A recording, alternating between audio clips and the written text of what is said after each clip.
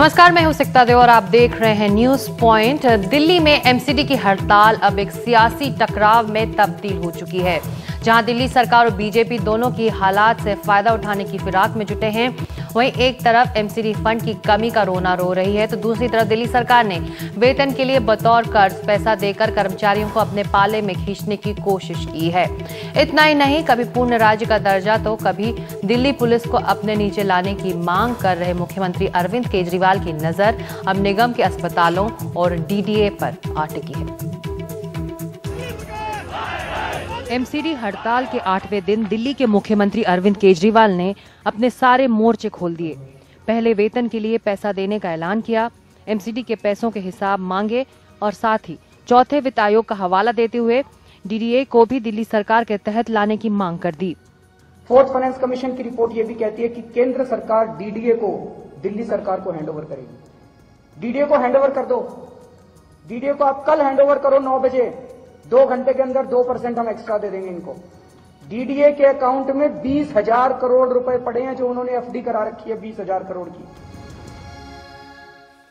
तो एमसीडी के कर्मचारियों के वेतन को लेकर दरियादिली दिखा रहे दिल्ली सरकार ने कहा है कि इसके लिए उसे शिक्षा के खर्चे में से कटौती करनी पड़ी है, जबकि उसके हिस्से निगम का एक भी पैसा बकाया नहीं है।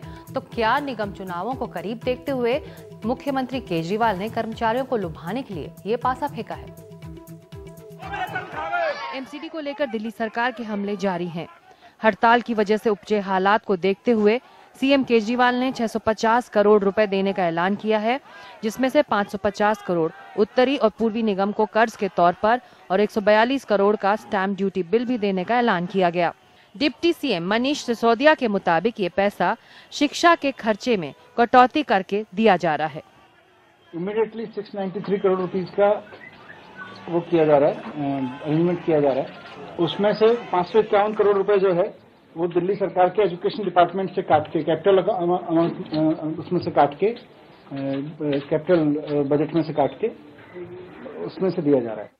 सीएम केजरीवाल ने यह भी आरोप लगाया है कि हड़ताल का फ़ायदा उठाकर बीजेपी के लोग कूड़ा फैला रहे हैं और यह दावा भी किया कि अस्पतालों के डॉक्टरों ने लिख कर दिया है कि वो निगम के तहत नहीं रहना चाहते, जबकि तीनों निगमों के मेयर दिल्ली सरकार पर जनता को गुमराह करने का आरोप लगा रहे हैं। जिस तरीके से किसी गाँव का बनिया फ़सल खराब हो जाए तो किसान को दबाता रहता है। उसी तरीके से दिल्ली के मुख्यमंत्री ने इन निगमों को गला दबाने की सोची। और इसी मुद्दे पर चर्चा करने के लिए और मेरे सवालों का जवाब देने के लिए सौरभ भारद्वाज आम आदमी पार्टी के इस वक्त हमारे साथ हैं।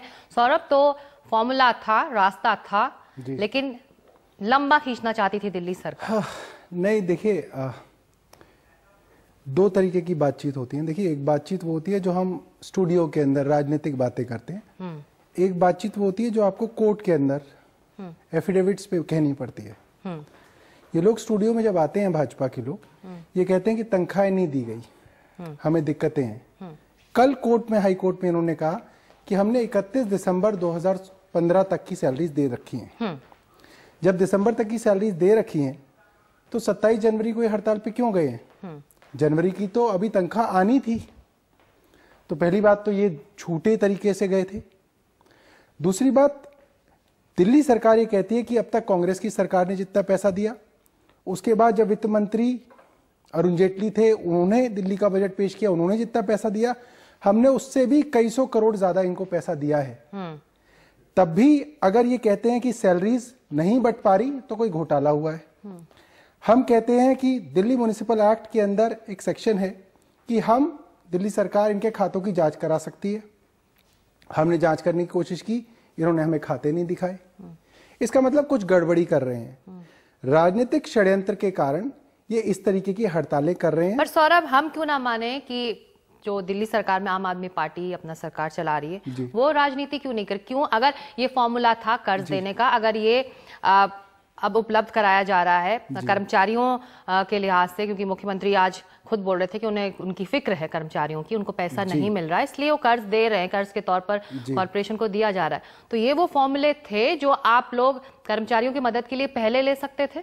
इतना लंबा ये हड़ताल नहीं खींचता? हमारा ये मानना था और आज भी ये मानना है। कि आप कर्ज किससे तब लेते हैं ना जब आप पहले तो आप वो चीज़ लेते हैं ना जो आपकी बकाया है। डीडीए केंद्र सरकार के अंदर आता है। डीडीए को एमसीडी को 1550 करोड़ रुपए देने हैं। मतलब वो इनके पैसे हैं जो इनको उनसे लेने हैं। हमारे ये मानना था और कोई भी सामान्य आदमी मानेगा कि आपके जो पैसे किसी के पास पड़े हैं पहले आप वो लेंगे ना या आप किसी से उधार मांगेंगे। मगर इनकी कोई मंशा नहीं है कि केंद्र सरकार की डीडीए से पैसा ले सकें। इसलिए अंततः क्योंकि हम लोगों को लगता है कि दिल्ली के लोग परेशान हो रहे हैं ये लोगों के अंदर परेशानी पैदा करने की कोशिश कर रहे हैं। केंद्र सरकार के अंदर कुछ लोग हैं जो डर्टी ट्रिक्स डिपार्टमेंट चलाते हैं। उनका ये सोचना है किसी तरह से कूड़ा फैलाया जाए स्कूल बंद हो सौरभ जब आप लोगों ने सरकार का कामकाज संभाला तभी से ही जो नॉर्थ कॉरपोरेशन है। और पूर्वी कॉरपोरेशन है। वो उसके जो फाइनेंशियल जो हालत थी वो तब से ही खराब थी। ऐसा नहीं है कि अचानक ये दिसंबर या जनवरी में उनकी हालत खराब हुई। तब उनके सहयोग के लिए उनकी मदद के लिए दिल्ली सरकार ने क्या किया क्योंकि अभी फोर्थ कमीशन के सुझाव ला, लागू होने बाकी हैं। जी मैं आपको बताऊँ देखिए जब से ट्राइफिकेशन हुआ है तब से नॉर्थ और ईस्ट की हालत खराब है। उतने ही एम्प्लॉयज़ थे वो ही उनकी सैलरीज थी। शीला दीक्षित ने आखिरी साल में उतने पैसे दिए सैलरीज पूरी हो गई। अरुण जेटली ने दिल्ली का बजट पेश किया उन्होंने उतने पैसे दिए उनकी सैलरी पूरी हो गई। हमने उससे भी कई सौ करोड़ ज़्यादा पैसा दिया। इनफैक्ट कई जगह तो हमने इनको डबल पैसा दिया नॉर्थ के अंदर। तब भी इनकी सैलरीज क्यों नहीं पूरी हो रही इसके बारे में सवाल है। जहाँ तक फोर्थ फाइनेंस कमीशन की बात है उसके अंदर तीन बड़ी बड़ी चीज़ें हैं। एक कि दिल्ली सरकार जो एमसीडी को पैसा देती है वो बढ़ाया जाए बढ़ा देंगे। दूसरा, केंद्र सरकार जो दिल्ली सरकार को पैसा देती है, वो बढ़ाया जाए। क्या वो बढ़ाने के लिए तैयार है? और तीसरी बात उसमें कही गई है कि डीडीए जैसे निकाय दिल्ली सरकार को दिए जाएँ और एमसीडी को कोई ज़रूरत नहीं है हॉस्पिटल्स और स्कूल चलाने की। ये सारे हॉस्पिटल्स और स्कूल्स दिल्ली सरकार को दिए जाएँ। ये पूरी रिकमेंडेशंस फोर्थ फाइनेंस कमीशन के अंदर आम आदमी पार्टी की दिल्ली सरकार की दिलचस्पी किसमें है कि हम हिसाब किताब की ट्रांसपेरेंसी हो या फिर ये अस्पताल ये स्कूल ये दिल्ली सरकार चलाया? जी नहीं हमारी ज़्यादा जी, जी, जी, हमारी दिलचस्पी ये है कि अगर आप एक कमीशन को मान रहे हैं कि भाई ये कमीशन को लागू किया जाए तो हम लागू करने के लिए तैयार हैं और इन टोटलिटी लागू करने के लिए तैयार हैं। हम्म। इनकी मंशा यह है कि आप तो अपनी देनदारी बढ़ा दीजिए मगर केंद्र सरकार से हम आपको कुछ नहीं बढ़ाएँगे। और जो उसके अंदर रिकमेंडेशन दी गई हैं उसको आप कुछ नहीं करना चाहते सिर्फ़ आप वो काम कराना चाहते हैं तो दिल्ली सरकार को करना चाहिए। हम कहते हैं कि केंद्र सरकार के मंत्री हैं राजनाथ सिंह हैं अरुण जेटली हैं वो कह दें कि हम अपने दायित्व पूरे करने की कोशिश में हैं। आप अपने दायित्व पूरे कीजिए। जिस दिन वो करेंगे उस दिन हम करने के लिए तैयार हैं। मगर आप देखेंगे कोई आदमी उस पर आगे बढ़ने के लिए तैयार नहीं है। ये सिर्फ़ एक संवैधानिक संकट पैदा करना चाहते हैं। ये दिखाना चाहते हैं देखिए संकट तो है दिल्ली वालों के लिए लेकिन पहल कौन करेगा? आप कह रहे हैं कि केंद्र को फैसला लेना है। पहल क्यों नहीं दिल्ली सरकार की तरफ़ से हो रही है? दिल्ली सरकार तो पहल कर रही है। दिल्ली सरकार कह रही है कि फोर्थ फाइनेंस कमीशन हम लागू करने के लिए तैयार हैं। हम अपनी ज़िम्मेदारी पूरी करने के लिए तैयार हैं। क्या केंद्र सरकार तैयार है? वहाँ से जवाब ही नहीं आता है। वो बोल दें कि वो तैयार है आप लोग कैसे पहल करें हैं? प्रेस कॉन्फ्रेंस के, के ज़रिए? क्या आप मुलाकात हो रही है? क्या गृह मंत्री से इस बारे में बातचीत के लिए कुछ सदन कहा गया? है आज नहीं दो महीने पहले दिसंबर के अंदर हाउस में डिप्टी सीएम ने खुद ऑन रिकॉर्ड कहा था कि ये फोर्थ कमीशन की रिपोर्ट है। हमने इसको पटल पे रख दिया। हम इसको लागू करने के लिए तैयार हैं मगर केंद्र सरकार पीछे हट रही है। और हम रोज डिबेट्स पे कहते हैं आज भी ये चुनौती तैयार है। अगर वो तैयार हैं तो हम इस फाइनेंशियल क्राइसिस में से एमसीडी को निकालने के लिए पूरी तरह से तैयार है। मगर आप ये देखिए कि दिल्ली सरकार कोई बहुत अमीर सरकार नहीं है। आज आप ज़बरदस्ती हमारे सर पे बंदूक लगा के हमसे पैसा ले रहे हैं वो पैसा किसका है? वो मोहल्ला क्लिनिक का पैसा है। वो पैसा किस चीज़ का है? वो स्कूलों के बच्चों का पैसा है? उनके मिड डे मील का पैसा है? उनके लिए जो क्लासरूम बनने थे उसका पैसा है? आप वो ज़बरदस्ती हमसे ले रहे हैं और आप अपने खाते भी नहीं दिखा रहे तो हम क्यों ना ये समझें कि आप इस वक्त दिल्ली सरकार इस वक्त कर्ज देने को इसलिए तैयार हुई है ताकि जो हड़ताली कर्मचारी हैं वो सब आप लोगों के पाले में आ जाएँ आपकी तरफ़ हो जाएँ और बीजेपी की एंटी हो जाए कि इन्होंने तो कुछ नहीं किया हमारे पार्षदों ने कुछ नहीं किया तो हम कर लेते। देखिए बीजेपी की पाले में तो वैसे भी कुछ नहीं है। हम्म। हमारी दिक्कत ये है कि हमें ब्लैकमेल किया जा रहा है और अब हमारे पास और कोई चारा नहीं है ब्लैकमेल होने के अलावा। हमने कई कोशिशें की तो ब्लैकमेल का एक पॉजिटिव भी होगा ना? जी। दिल्ली सरकार के लिए आम आदमी पार्टी के लिए कर्मचारी आप लोग की तरफ़ आ जाएँगे नहीं कर्मचारी को देखिए कर्मचारी के ऊपर कोई एहसान तो हम कर नहीं रहे। उनको तो उनके काम का मेहनताना मिलना ही चाहिए था। एमसीडी को देना चाहिए था वो नहीं दे रहे हम दे रहे हैं। तो उनको कोई फालतू चीज़ नहीं मिली उनको तो अपनी तनख्वाही मिली है। मगर ये है कि हमको ब्लैकमेल किया जा रहा है और हम ब्लैकमेल हो रहे हैं और एक सच्चाई है और ये सब लोग देख रहे हैं। तो वही तो मेरा सवाल है जब इन कॉरपोरेशंस की हालत खराब थी तो ऐसी नौबत क्यों आने दी है कि आप खुद कह रहे हैं हम ब्लैकमेल हो रहे हैं क्योंकि आपको कर्मचारियों की फ़िक्र है तो कर्मचारियों की फ़िक्र अब मैं आपको अब हड़ताल पर क्यों जाएँ और अपना वेतन मांगे? क्यों नहीं मदद पहले की जाए? अच्छा मैं आपको बताऊँ। देखिए जो एमसीडी की फाइनेंशियल हालत है एमसीडी का जो रेवेन्यू का सोर्स है उसमें दिल्ली सरकार का जो पैसा जो ग्रांट दिया जाता है वो एक छोटा सा हिस्सा है। इनको प्रॉपर्टी टैक्स से कॉमर्शियल प्रॉपर्टीज़ से पैसा लेना चाहिए। इनको पार्किंग से पैसा लेना चाहिए। जो ये लाखों होर्डिंग्स आपको दिखते होंगे, उनसे इनको पैसा आना चाहिए। मगर आपको हैरानी होगी ये जान के कि इनको इतनी सारी होर्डिंग्स जो लगी हुई है दिल्ली से, मात्र इनको 12 करोड़ रुपए आता है। मतलब महीने का एक करोड़ रुपए मिलता है इनको। आप एक होर्डिंग का किराया पता कर लीजिए, डेढ़ से दो लाख रुपए है आजकल।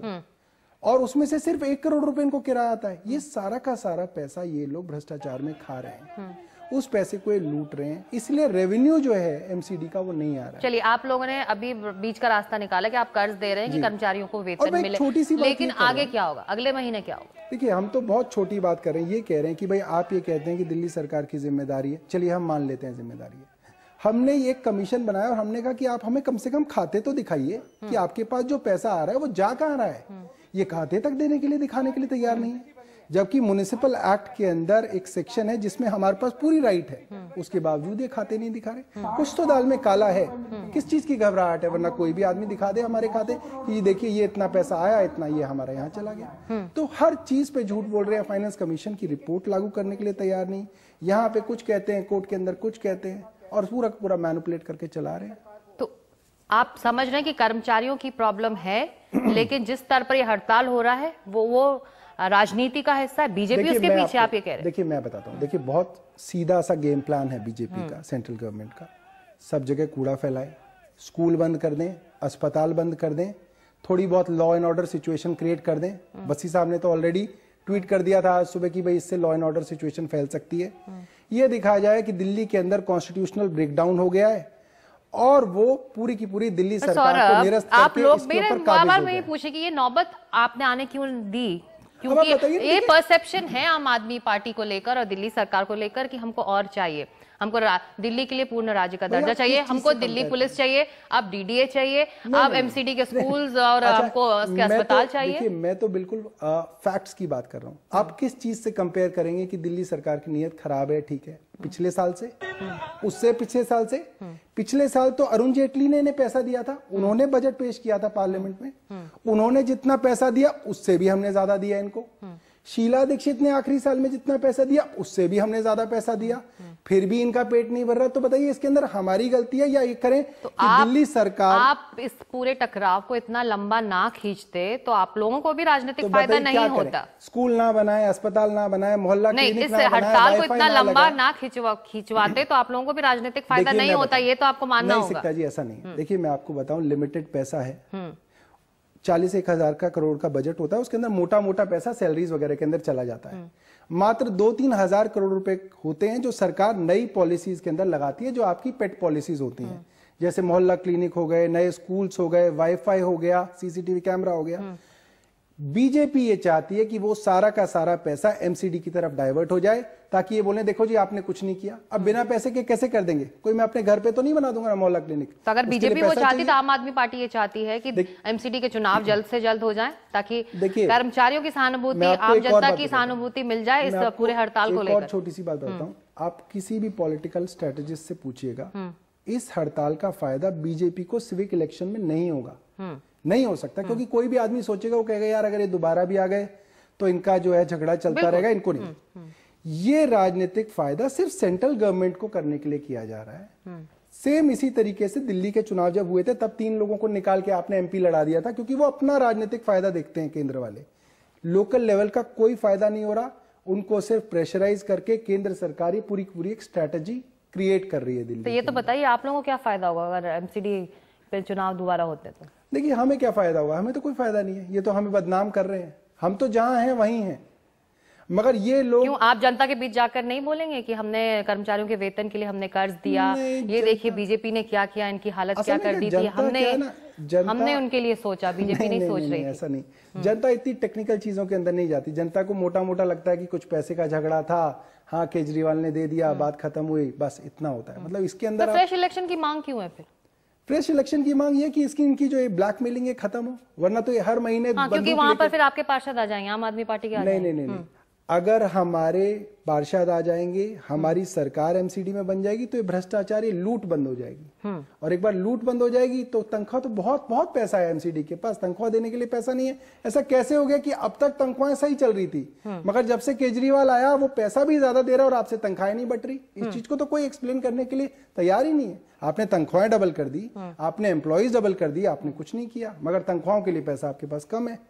कुछ तो गड़बड़ी है। तो अगले महीने क्या होगा? फिर और कर्ज दिया जाएगा जब तक फ्रेश चुनाव नहीं होते हैं। मुझे तो यही लगता है कि अगर इनके साधन नहीं बने देखिए क्योंकि ये डीडीए से तो मांगने की इच्छा रखते नहीं है। कोर्ट ने संज्ञान लिया इस चीज़ का कोर्ट ने सेंट्रल गवर्नमेंट से पूछा है कल कि भाई आपके जो 1555 करोड़ रुपए बनते हैं एमसीडी को वो आप क्यों नहीं दे रहे? इसके बारे में आपका क्या ख्याल है? तो हो सकता है कोर्ट के उसमें आए।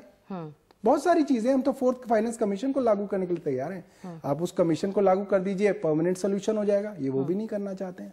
चलिए अदालत में ये पूरा मामला देखना होगा कि इसमें आ, क्या निकल कर आता है। शुक्रिया सौरभ भारद्वाज इस चर्चा के लिए। तो दिल्ली की तीनों निगमों पर बीजेपी का कब्जा है और इस बात के शुरू से ही आरोप लगते रहे हैं कि पार्टी हड़ताल को हवा देकर केजरीवाल सरकार के लिए मुश्किलें खड़ी करती रही है। कहीं सर मुंडवाकर विरोध जताया तो कहीं नर्सों के हाथ में कटोरा नज़र आया। एमसीडी कर्मचारियों के प्रदर्शनों से दिल्ली यूपी को जोड़ने वाले एनएच 24 भी अछूता नहीं रहा और गाड़ियों की लंबी कतार लग गई।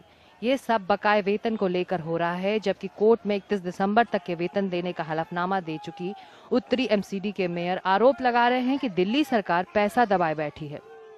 मैं पूछना चाहता हूँ केजरीवाल जी से कि 890 करोड़ रुपए जारी करके 3000 करोड़ रुपए की तनख्वाहें कैसे भरे नॉर्थ एमसीडी 890 करोड़ रुपए में जो बाकी 2100 करोड़ रुपया कम है और उसके लिए दिल्ली नगर निगम ने रेवेन्यू जनरेट करके कुछ पैसे का इंतज़ाम किया है और कुछ पैसे आप हमारे रोक के बैठे हुए क्या ये स्कैम नहीं है? हमें हमारा तो अब ऐसे में क्या सवाल उठता है? अगर एमसीडी ने 31 दिसंबर तक का वेतन दे दिया है तो फिर कर्मचारी 27 जनवरी को ही हड़ताल पर क्यों चले गए जबकि तनख्वाह कायदे से 31 जनवरी को आनी है?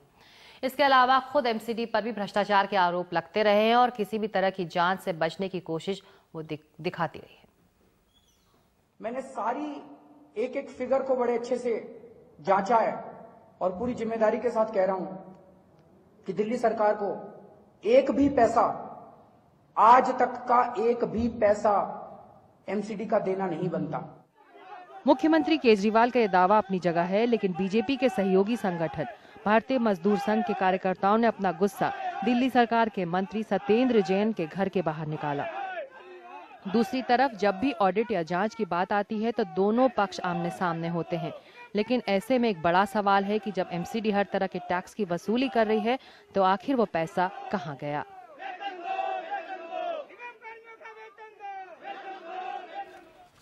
तो आखिर वो पैसा कहाँ गया? इसका जवाब हम लेंगे इस छोटे से ब्रेक के बाद ले चलेंगे रफ्तार के बाज़ार में भी।